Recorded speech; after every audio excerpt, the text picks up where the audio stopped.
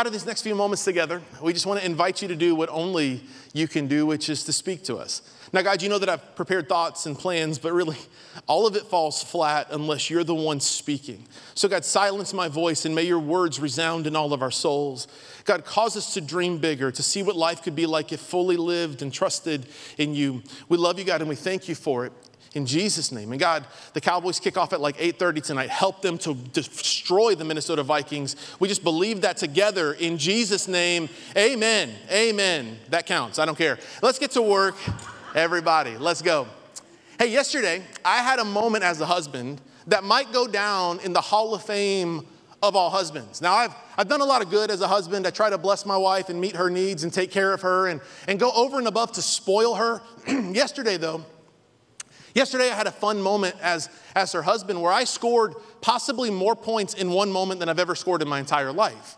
Now, for the last like three months, there has been rumor that in my garage there lived a cockroach that was at least three inches long.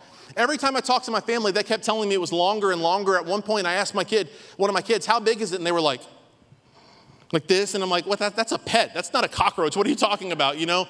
And I kept, I kept going out and looking for it and I couldn't find it. I could never find it. Like it had gotten to the point where I was convinced that my kids were just lying to me to mess with me. That's what I thought was happening. But yesterday, my wife was about to head out for the evening and she goes into the garage and she screamed so loud. Now, every husband in the room knows that there's different kinds of screams that wives have. Can we be honest about this, right? There's that scream when they're watching the Hallmark movie and the couple finally gets together and they have that moment. There's the ah, ah, there's that scream, right?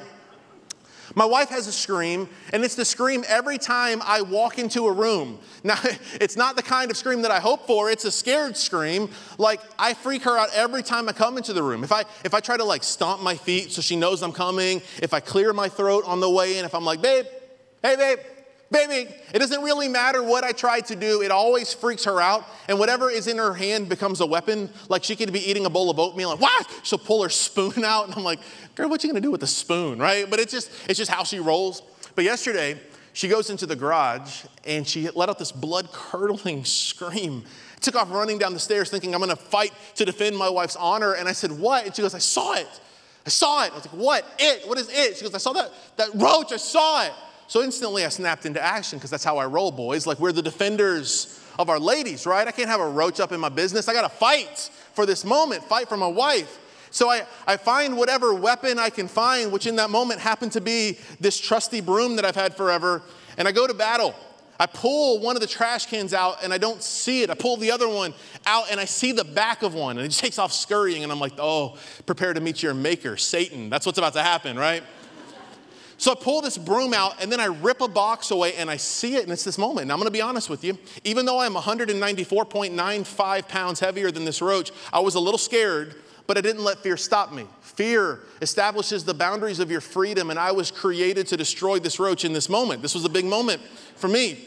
And so I pull this broom out and I see it and I just smash it as hard as I possibly can with this. Now, to give you some context, my wife had gotten into her van and she had backed out of the driveway and she was sitting in her car watching all of this happen. Now, if I'm honest with you, I was a little scared in this moment, but I had to show that I was strong. I had to show that I could protect her. And so I start smashing the life out of this cockroach. My wife looks at me and I can't hear what she's saying because she's in her van, but I'm sure it's like words of adulation and praise and just love. I'm sure she's thinking about how she can't wait to hug me and thank me later. It's gonna be an amazing moment. I'm proud in this moment, I'm killing this thing. And then, and then I took it a little too far. I decided to try to flex on her a little bit to show her that I was the man in this moment. Now, at this point, I thought the cockroach was dead. Um, I'm not actually sure you can ever kill a cockroach, to be honest, but, but I thought it was dead. And so I decided to not just kick it out of the garage, but instead I decided to not just sweep it out of the garage, I decided to hit it like a baseball out of the garage. And I had my broom in my hand, and I, I got her watching them. I got to show off for her. And I did what baseball players do when they're kind of cocky and they think they're going to hit a home run, and I just pointed out to the driveway.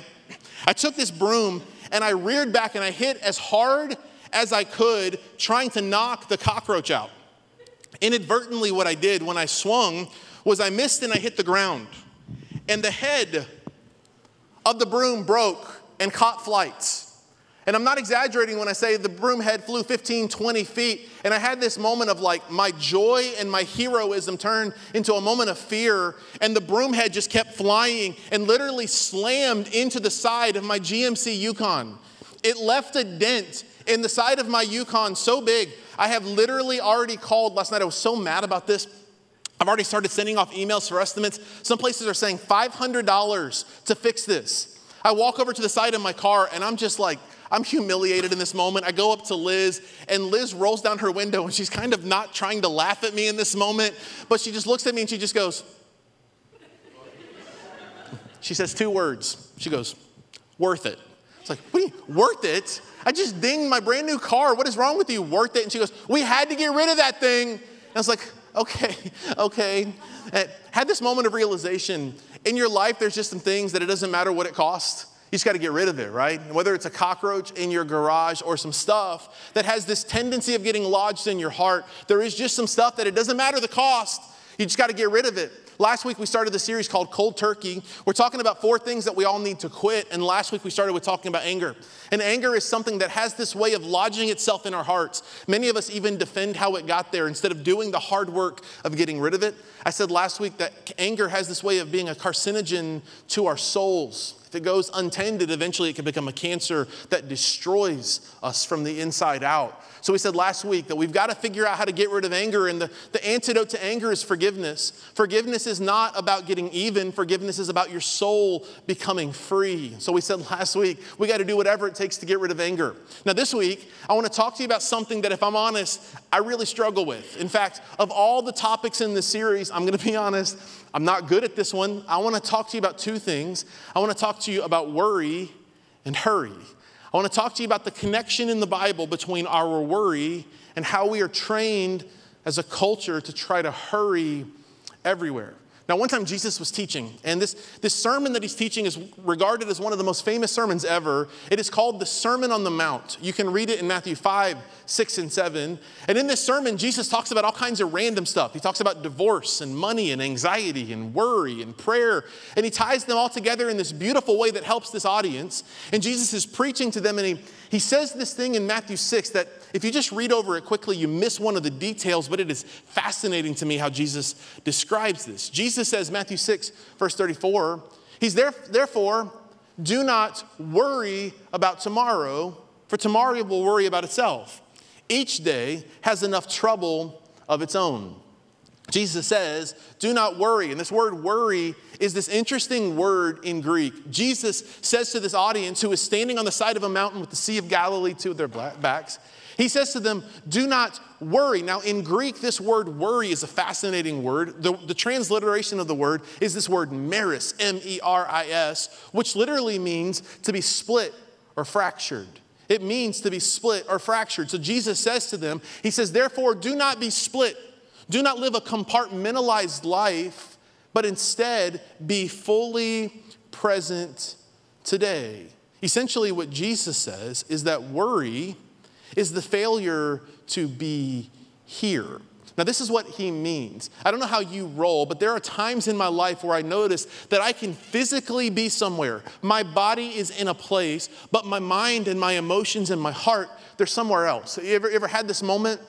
You're physically somewhere, but emotionally, you're just checked out. You're somewhere else in that moment. I don't know if you've ever had this moment. Some years ago, my wife and I, we were celebrating our 10 year wedding anniversary. And we decided to take a dream vacation to Hawaii. Now, I had never been to Hawaii. I remember before I went to Hawaii, I was talking to my friends and I was like, yeah, I'm excited, but the truth is, like, it's Hawaii. It's an island. It's going to have palm trees and beaches. We've got palm trees and beaches. People come from all over the world to Florida to vacation where there's palm trees and beaches. It'll be the same. I could not have been more wrong. We saved our frequent flyer miles, hopped on a plane, and we went to Hawaii, and it was this amazing place. There were mountains and beaches and drinks with umbrellas and coconuts. It was amazing. It was a beautiful, fantastic place to visit. And we were there enjoying this place. And on the third day, I had this weird moment with my wife. My, my wife, she, she turns around and she stands face to face with me, and she puts her arms on my shoulders and she goes, Wait, hi. And I didn't know how to respond to that. So I just said, Hi. And she goes, No, no, no, no, no, no. Hi. And I said, Hey, Hey, girl. Hey, what, what are you? Hey. And she goes, No, no, no, no, no, no, no, no. Hi. She goes, You're, you're finally here. I said, what do, you, what do you mean? She goes, You're finally here. And I said, What do you even mean? It was day three of a vacation. And she reminded me that even though I had been in Hawaii for three days, it's like I finally showed up.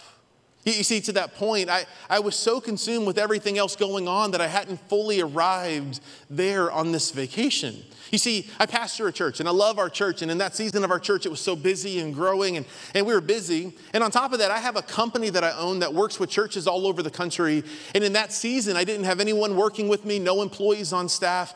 And I'll never forget, like, I was working myself into oblivion in that season. I would work all day for the church, and then I'd come home and have dinner with my family. Then after dinner, I would sit down and I would start working, and I would work until my side job work was done. Sometimes that was 10 o'clock, sometimes that was 2 a.m., sometimes that was an all nighter. And there was a whole season of my life, legitimately, where I was working 120 hours every single week, like actually working 120 hours a week. I look back at the videos of my messages from that season, and my face looked all puffy and gross. I was, I was probably clinically exhausted in this season. I, I, I got sick. I mean, it was just, it was a nightmare. And I finally get on a plane. I worked myself into complete exhaustion. I get on a plane, I land in Hawaii. And even though I was physically in Hawaii, my mind and my heart was all the things still to do, and all the emails that I needed to respond to, and all the things that would not be done because I was in Hawaii that week. And then I had that moment of realization where reality smacked me in my face, and my wife said, Hi. Wonder how many of us, we're so consumed by everything else in the world that we miss the beauty of this life that we were intended and created to live. In the book of James, the Apostle James is writing, and he gives us this, this reminder that life is short, that life is here and then, and then it's gone. Look what James says in chapter 4, verse 13. He says, Now listen, you who say, Today or tomorrow we will go to this or that city, spend a year there, carry on business, and make some money. He's like, Those of you who are so consumed with all the busyness of life, he says, Why? You don't even know what will happen tomorrow. Then he asks this profound question What is your life? Something we should all come to terms with. What is your life even about? He says, You are a mist. We'll come back to that word in a moment. You're a mist that appears for a little while and then vanishes. Instead, he says, you ought to say, if it is the Lord's will, we will live and do this or that. He's like, you're not even promised tomorrow, and yet you're so consumed by the potential of tomorrow that you have the potential to miss the beauty of today. And then he uses this beautiful picture. He says, Your life is a mist. What is a mist? It's something that's here for a moment and then it's gone. A mist comes, you can see it for a moment, and then it vanishes and it is gone. Now, I don't know if you've ever been in the funeral of someone that you love. But if you've ever been to a funeral, you've experienced this before. When someone died, in your opinion, prematurely, and you're sitting looking at their casket, grieving the loss that you feel in your soul, you think to yourself in that moment, this life is short. I've got to make the most of this. I, I, can't waste my time. And then what happens? We go back to work the next day, and life continues to go at a breakneck pace in a way that you'll never be able to keep up with. Your life is a mist. It's here for a moment and then it's gone. So we got to figure out if we're going to enjoy this life, if we're going to live a life to the fullest, then we have to figure out how do we how do we do this? Now, if there's anyone who could get this right, it was this guy Moses. Moses had this amazing encounter with God in Exodus chapter 20. Moses goes up onto a mountain and God literally gives him the 10 commandments. These are the new rules for humanity. And he gives him these 10 commandments. I mean, Moses has met with God. If anyone was close to God, it was your boy Moses. Four chapters later, God says something to Moses that as we read it in the moment, you're going to skip right over it and you're going to miss it. But I want to point it out to you because even Moses struggled with this. Exodus 24 says, The Lord said to Moses, Come up to me on the mountain, and then I want you to highlight these two words and stay here. Come up on the mountain, stay here, and I will give you the tablets of stone with the law and commandments that I have written for their instruction. So God says to Moses, I want you to come up on the mountain, then I want you to be on the mountain. It's kind of weird, right? Come up on the mountain and be on the mountain. Now, the, the, Hebrew phrase for this word stay here is a derivative of this interesting word. It's this word hayah, which is awesome to say. Hayah. Hayah literally translate means to be or to exist, to be or to exist. So God says to Moses, I want you to come up on the mountain and I want you to be on the mountain. Come up on the mountain and I want you to be on the mountain. Now, doesn't, doesn't that seem redundant? Like, if you're coming up on the mountain, won't you be on the mountain? It's like what God understood about Moses is when Moses climbs to the top and gets to wherever the destination is, where does his mind immediately go? How do I get back down? How do I get back to where I started? And what God's saying to Moses is, I want you to get here, get to the mountaintop, but when you get there, I want you to be there. Don't be consumed by the next move. Don't be consumed by the next step you have to take, but just get here and actually be here. Some years ago, had this weird encounter with my wife where she said, You know, uh, babe, all of our kids, they, they never ask you for anything anymore. If they want something and we're both home, they both come to me. They all go to Liz. She's like, why, why do you think this is? And I thought about it. And I realized that it is possible that as a dad in that season of my life, I was so consumed with everything else that there was to do that I wasn't actually being there with them. So, what do you, what do you mean? It's like physically I'd come home from work, but my mind was still at work. My, my body was home, but my mind was preoccupied by the problems and the counseling and the situations that I dealt with in that day. And I was home, but I wasn't actually home. And so my kids probably had tried over and over and over to get through to me, but eventually it felt like hitting up their heads up against the wall. So they gave up and they went to Liz instead. And that moment of reality hit me. I can't miss this life when my mind and my heart is somewhere else. Let do not worry, do not be split and fractured today, but be here. Now, why why is it, do you think, that we have this problem being present? Like actually being where we are. Why do you think this is a struggle? I, I would submit to you the reason is this is we live lives that are so hurried. We live lives that are so busy, so consumed. You got to get from this place to this place. You got to get to soccer lessons and piano lessons and ballet lessons and back to violin lessons. Like life is just busy. You got to rush the kids around. You've got a job to do and you've got to get to the gym and you've got to do all these other errands throughout the week. Like we just live busy, consumed lives. And the problem is, it has that potential to cause you, while you're trying to live your life, to actually miss your life. Some years ago, one of the most brilliant theological minds to ever live, this man named Dallas Willard, he said this about hurry.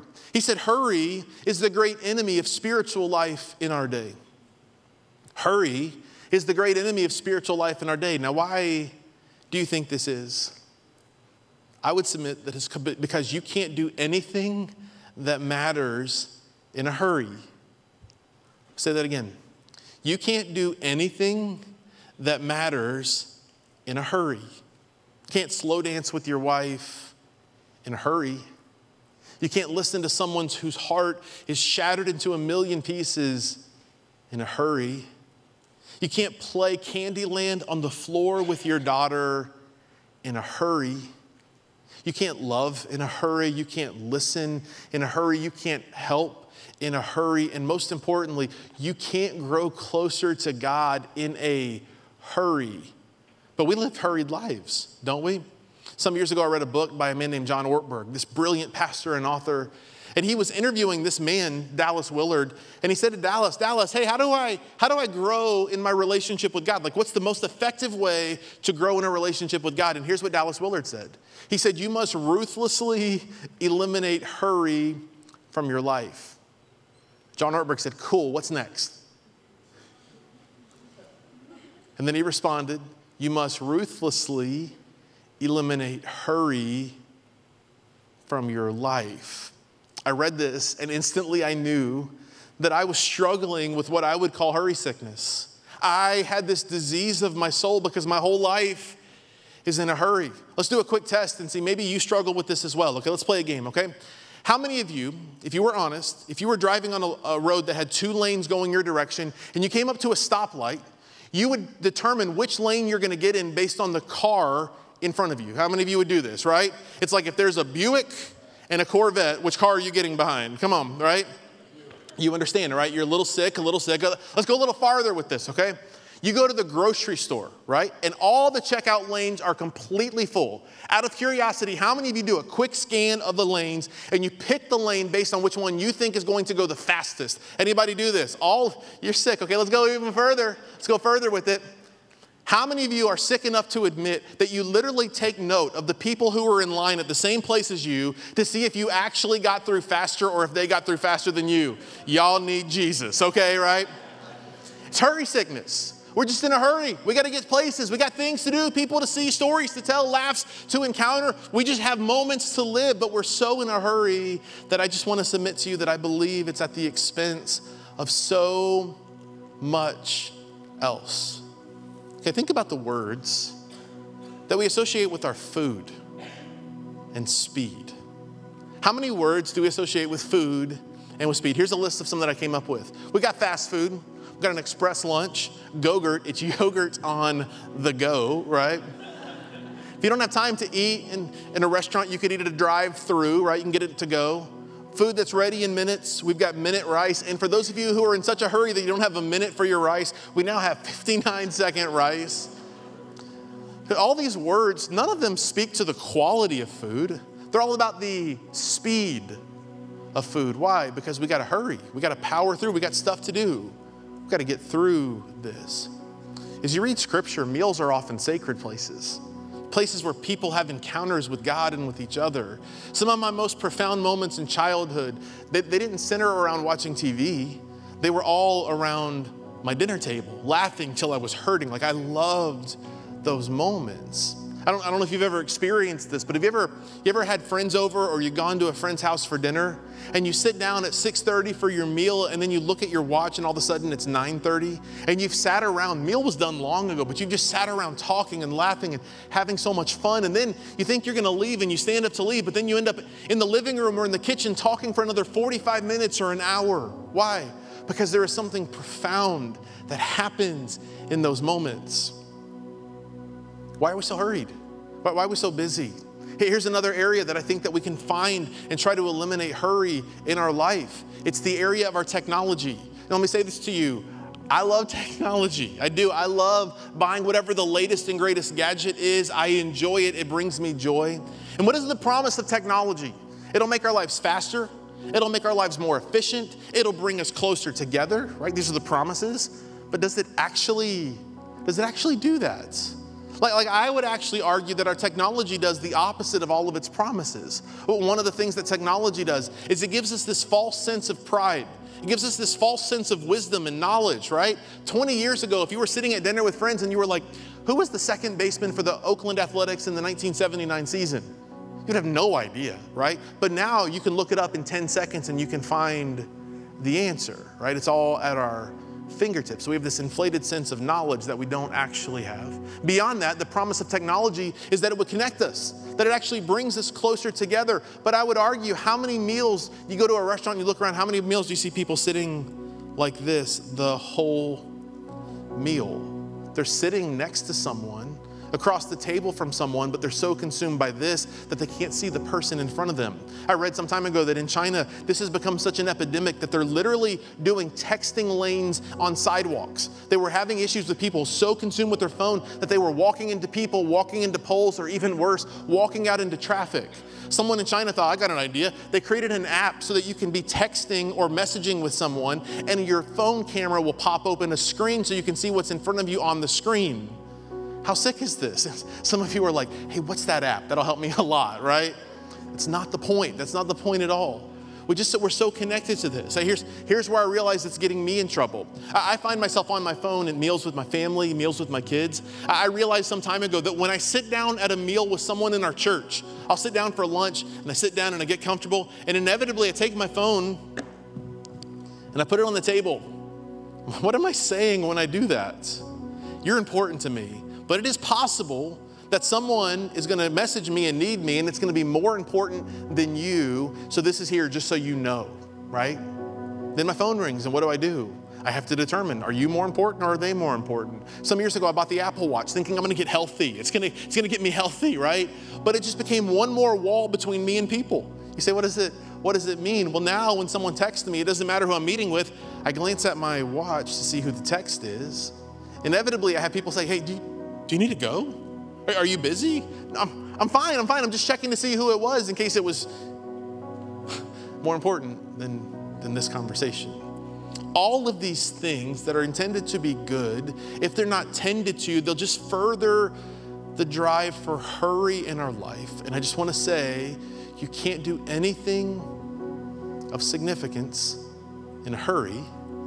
And if you can't do anything of significance in a hurry, including growing in your relationship with God, then what does it look like if all of us begin to ruthlessly eliminate hurry from our lives?